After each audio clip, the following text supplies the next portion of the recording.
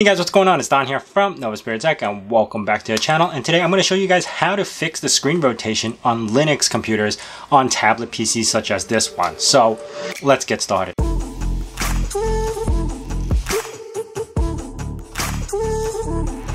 So I've been recently playing around with the KUU tablet, the LeBook 2-in-1 laptop, and in most cases tablets have this issue like the Surface Pro or any other little tiny touchscreen tablet devices with rotation sensor. So in this video, what I'm going to be showing you guys is how to create your own configurations to fix the 180 or 90 degrees flipped or inverted screen rotation that you might occur on tablet PCs such as this one. This way you don't have to wait for somebody to create a config file and you could create your own.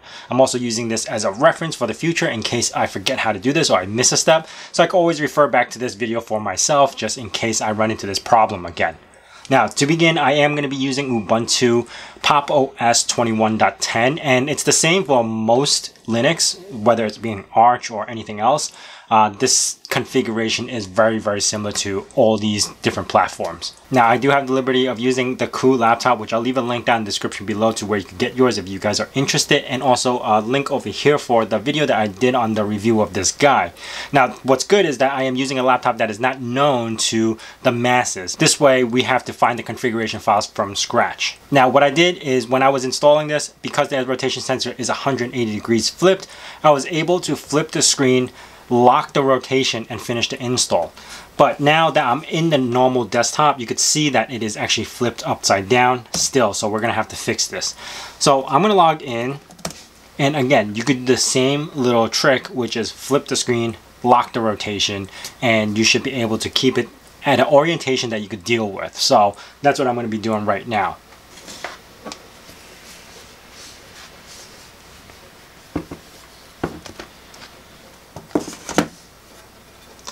I'm just gonna press the bottom left and lock the screen rotation. This way, if I flip it, I'm not gonna lose the orientation. This way it's a little bit easier to deal with.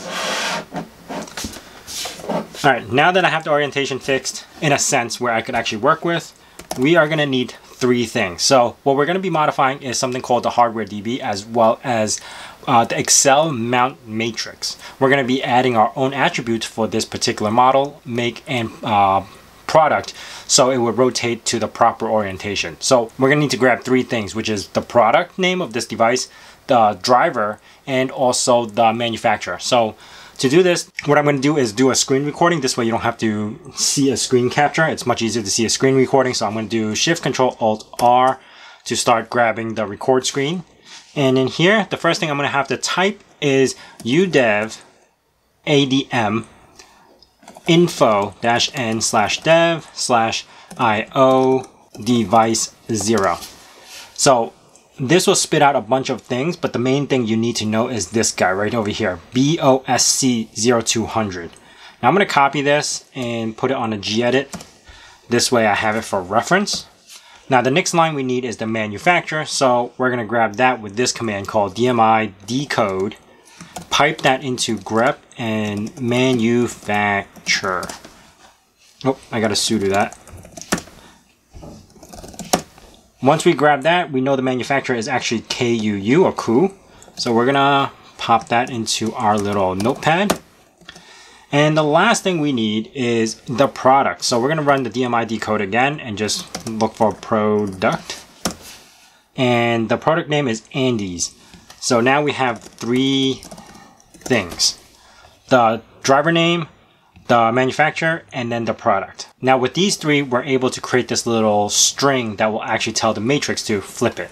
Now, to do this, we will need to go into uh, this folder called lib u udev hardware db.d and then in here there's going to be a list of stuff. So you have your keyboard, your input sensors.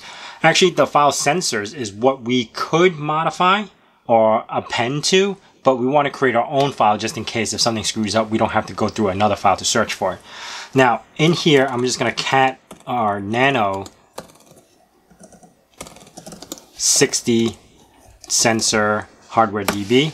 And in here actually gives you the quick rundown of what it does and what it is. And it also talks about the accel mount matrix, uh, the rotation, x-axis, y-axis, etc., etc. And then these are all the manufacturers that they know of that has this problem. Like if you have an Acer. So a lot of laptops suffer through this problem, but because this file exists, it already resolves the problem when you first boot into a newer Linux. Now, I'm going to create a, my own file. So I'm going to do sudo nano 61 dash sensor dash local dot hwdb. And in here, that's when I add my own little thing. First thing we need to know what we're going to be modifying, which is the sensor file. Put a colon there. Ma alias colon ACPI colon. And then here we're going to put the driver name. So we're going to do B O S. Is it BOS? Let me let me pull this uh, gedit up. There you go. BOS C0200 star. That means every attribute at the end of that. Colon DMI colon SVN, which is the vendor name, and this would be KUU, and then put a star at the end, and then colon again, PN product name, and these, and then colon star. Now, you make a new line, hit spacebar, so it just needs one little space, and then in here you would do accel underscore mount underscore matrix equals, and this is the attribute that you need to put in. Now, every laptop might be slightly different. This is rotated literally 150, 180, which is, you know, up and down, inverted. So I'm going to put 0, minus 1, comma, 0, semicolon, minus 1, colon, 0, colon, 0, semicolon, 0, colon, 0, colon, 1. So that's the attribute that we need to flip the screen 180 degrees. Control X to save, yes, save the file, and now we need to update the udev. So sudo udev adm hardware db update. And that is it. Now you have to reboot the computer. It should be rotated 180 degrees and all the touchscreen should work along with it. So so what I was missing, why it didn't work after the reboot, which I'll try again, is because I forgot the star after the DMI. So yeah, we'll reference that in a sec uh, second, and then I'll just like put some text under it, but you need that star. So now I am gonna save again, rerun the hardware, and then reboot.